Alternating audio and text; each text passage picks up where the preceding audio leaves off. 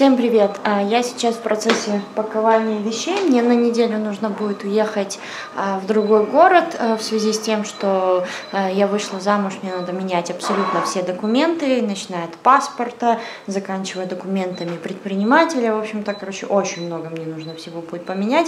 И вот я собираюсь уехать, и вот сейчас вот в процессе сбора вещей, и как-то у меня все продвигается очень медленно. У меня э, поезд уже где-то через э, пару часов, а я еще абсолютно не собрана, и Сэмик тоже вот тут абсолютно не выявляет никакого интереса по поводу моих сборов. Все, что у меня пока собрано, это э, вот так вот по кучкам только разложены какие-то вещи. Косметику я вообще даже еще не начинала собирать. А, какие-то вещи приготовила здесь, которые буду брать, но тоже пока еще ничего не упаковывала. В общем-то, работы у меня еще очень много, поэтому надо бы, наверное, уже приступать. Я уже успешно сняла поезд и, в общем-то, поехали.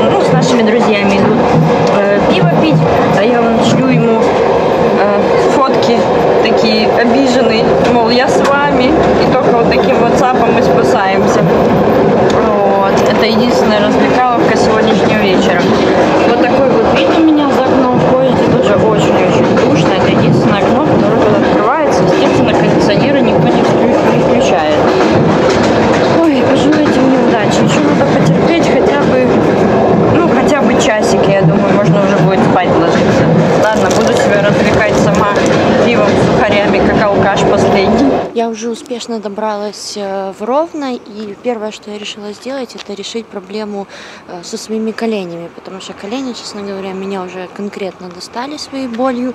Э, я вчера была у врача, он мне сказал, что больше всего похоже на артроз. Хотя в прошлый раз, когда он смотрел мой снимок, то сказал, что артроза нет, а просто скопление жидкости, как бы бурсит.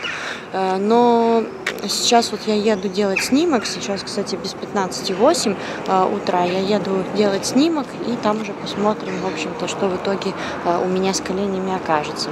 Короче, сделала я снимок, но в итоге оказывается, что все-таки это не артроз, потому что в снимке в заключении мне написали, что у меня колени вообще чуть ли не образцово-показательные, то есть вот мои колени, стенки ровные, никаких там разрушений нет, ничего такого нет.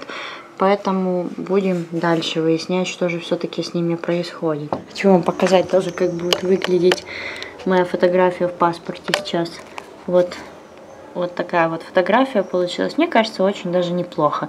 У меня моя фотография вообще такая ужасная в паспорте. Мне всегда просто даже стыдно а, показывать свой паспорт из-за своей такой уродливой фотки.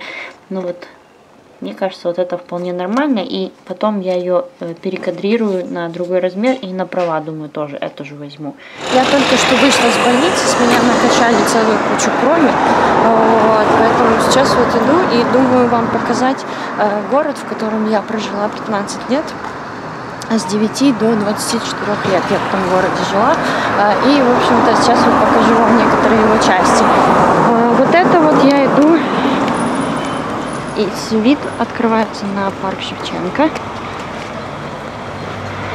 Здесь вот, конечно, пару кустиков только видно, но он уходит в глубину. И там довольно большой еще парк, это как центральный парк. А мы туда не пойдем с вами, потому что мне, к сожалению, никуда нужно сейчас. А, но я вам покажу тоже центр, который находится вот туда, вот дальше немножко. Сейчас я перейду дорогу, чтобы меня не сбила машина. А, и пойдем немножко дальше. Центр Ровно это, грубо говоря, его самая главная достопримечательность, потому что по большому счету много каких-то тут достопримечательностей нет. А, и для жителей города все завязано на центре. А, все встречи, все кафешки, все там какие-то развлекаловки, все находится только в центре. И вот сейчас мы пойдем дальше по этой аллее, и я вам покажу самую центральную площадь, именно площадь независимости.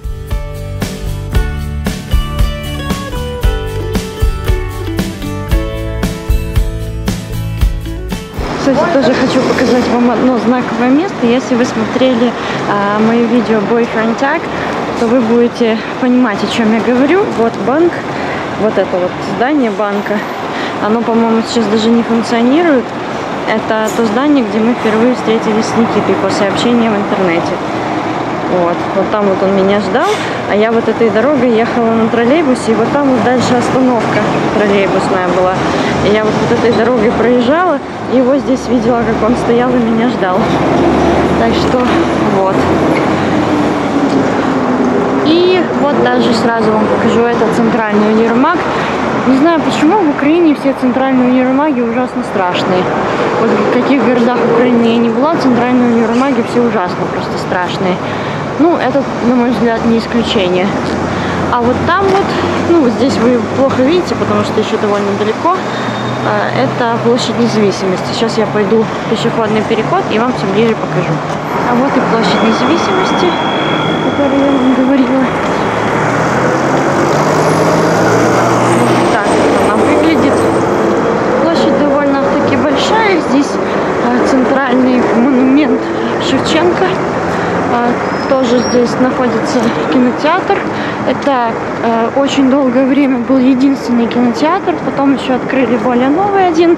Э, и, насколько я знаю, они сейчас как-то равноценны, в принципе, по качеству своему. Потому что этот уже отреставрировали тоже. Я уже очень давно там не была, уже, не знаю, может, года три, наверное, точно там не была. Поэтому и не помню точно какой он там. Ну, когда я здесь жила, он был очень страшный такой, знаете, еще в советском стиле абсолютно не отремонтированный. Не знаю, в каком он состоянии сейчас, но тем не менее. Вот. А с этой стороны вот здесь есть собор, это центральный. Он очень небольшой а, и такой, скажем так, очень компактный. Там дальше по вот этой улице вверх, если двигаться, то будет очень большой собор, а этот такой чуть-чуть поменьше. И вот там вот, я вот, если не забуду, еще схожу туда, вам покажу. Вот если пойти туда, немножко дальше, там находится э, кафешка Blues, о которой я тоже рассказывала в Boyfriend Tag. Там было у нас с Никитой наше первое свидание. И я так проходила недавно мимо и ну, заметила, что э, до сих пор эта кафешка выглядит очень даже так прилично. Поэтому до сих пор вроде как считается очень хорошей. А я сейчас двигаюсь э, в паспортный стол менять паспорт. И вот, кстати, заведение, о котором я вам говорила, где у нас с Никитой было наше первое свидание. Вот так вот его отреставрировали. Раньше оно выглядело намного попроще.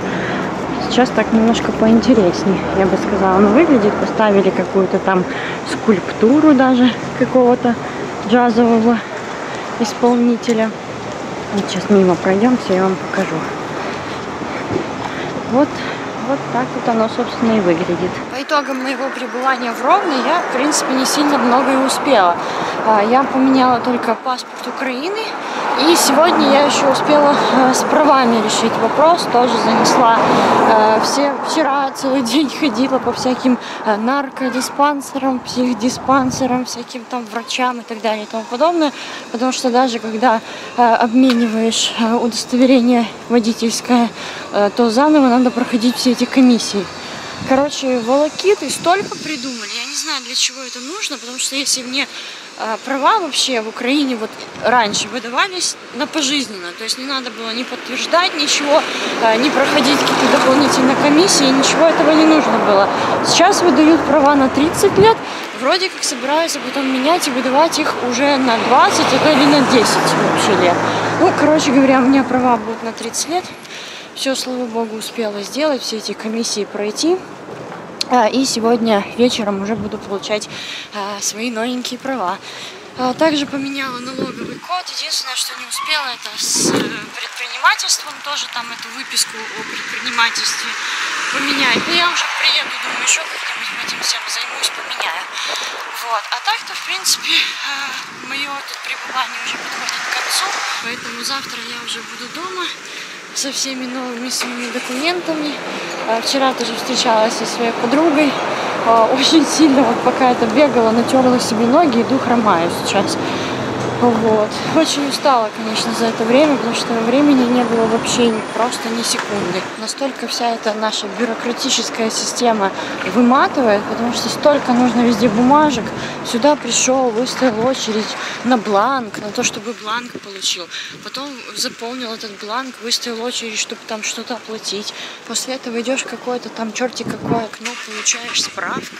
А потом надо ждать каких-то срочных э, нет вариантов получения оформления документов. Короче, это такое просто геморрой, что мне кажется, пора бы уже это все поменять и как-то перевести в какой-то уже более э, цифровой формат, что ли, чтобы это можно было получить, как в Штатах, например, все документы э, можно получить, ну не все, но очень много документов можно получить э, через интернет, то есть не посещая даже учреждения, и потом тебе эти документы все могут прислать по почте, вот просто, тебе не надо ходить там очереди стоять.